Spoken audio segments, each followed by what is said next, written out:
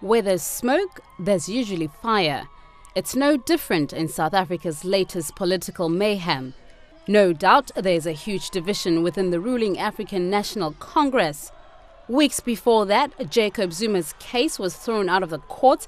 Judge Nicholson said the prosecution didn't follow judiciary procedures and insinuated that ex South African President Thabo Mbeki was involved in the prosecuting of Jacob Zuma. The Zuma supporters took this as the end to the corruption scandal hovering their potential next president, who is already leading the ANC. But Thabo Mbeki was under pressure and resigned. The party and government accepted Kgalema Motlanthe as the new president of the Republic of South Africa and hoped he would bridge the gap that has opened up within the ANC's members.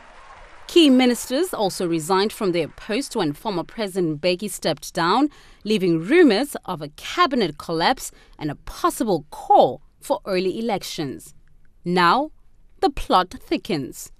According to reports from the Mail and Guardian, supporters of former President Thabo Mbeki want to start a new political formation. Former Gauteng Premier Mbazima Shilowa will likely to be the face of the party. According to the report, there were exchanges of spiteful letters between former Defense Minister Mosiuoa Lekota and Transport Minister Jeff Radebe.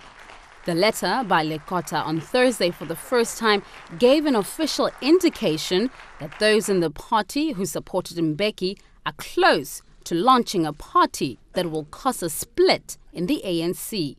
In a statement this week, the ANC said the formation of a new party would not distract it from its historic mission and its immediate task of leading the party in government.